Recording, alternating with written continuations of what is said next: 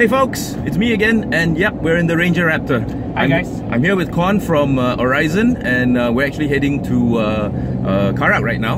And we're on the highway, and one of the things Kon has just uh, mentioned, which I think is very pertinent, is the fact that this doesn't feel like a truck. Oh. And I'm sitting in I'm sitting in the passenger seat right now, and it really doesn't feel like a truck. It feels more like a luxury SUV. The ride height is very very high. Uh, I can see very clearly over the cars in front of me. We've got another Ranger Raptor behind us, which I'm going to show you in a while.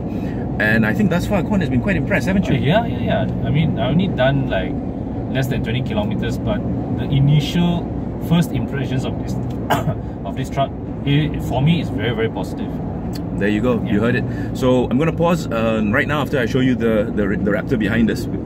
Oh, actually, he's disappeared. But never mind. He might have he might have taken a different route. Uh, but we're going to keep going. Uh, we've got a long test drive ahead of us today. Uh, it's so far it's great. I'm going to unmount this and I'm going to show you what the rest of the truck looks like. So that's the back seats. And this is the driving position. And there's the instrumentation. Speed limit, ah, speed limit, ah. Yeah, yeah, yeah.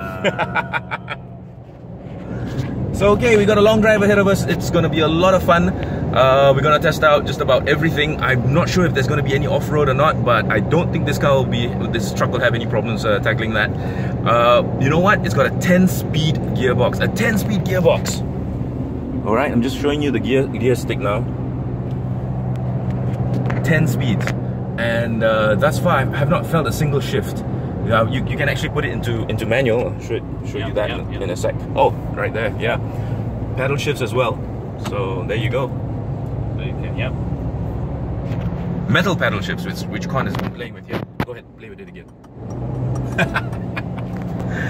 Metal pedal shifts. So yep, but just stick it in D and let the 10 speeds work for you. Fantastic. Uh, one thing I need to show you later is the uh, tailgate, the um, torsion beam assisted tailgate.